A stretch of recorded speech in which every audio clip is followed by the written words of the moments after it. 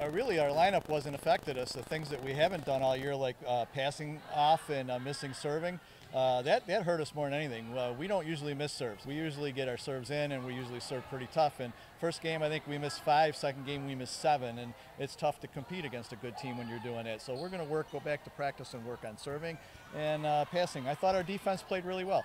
Um, got a couple new blockers and they, they took away their big hitter, and I thought we did a good job with that. Uh, the, the first set we struggled. There was a little bit of nerves in there. The second two sets, I told them, go back to playing Cal-Mum volleyball. That's us. We got to go back and make our plays. We've got to put the ball in play, keep the ball on their side, force them to make the mistakes. And we started doing that, and that's when the games got better. And uh, that's when they uh, um, eventually were right close uh, where we, we ended up losing 25-23. Tough break on one of them. Our blocker had it, and it rolled over the net and hit her in the head. Other than that, uh, you know, the breaks run that way in volleyball, so we did pretty good. It's a great motivator for the girls, um, for them to hold off when Cal-Mum made the run for it. It will help us with the mental toughness. Um, and they are a very strong team. Um, they don't give up. And those are the teams that you want to play consistently because that's what helps you get better.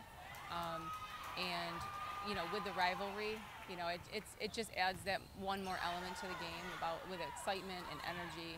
And it just means more to them when they do win. I thought we were inconsistent. I thought we had some moments of greatness, and I thought we had moments of lack of focus, um, which led to errors. And as strong as Cal-Mum played, um, I felt like our errors, unforced errors, um, helped to propel them and gave them the gave them that motivation, gave them the momentum, um, and we kind of started questioning ourselves a little bit.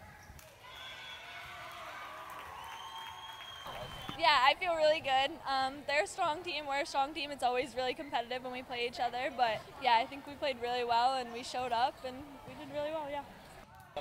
Yeah, it's. I mean, it's a lot. It makes me more confident that I have hitters that will definitely back me up, and I have great passers too. I always get good passes, so I can, you know, play well. and they're yeah, they're really good. So I mean, I'm happy with how hard we work.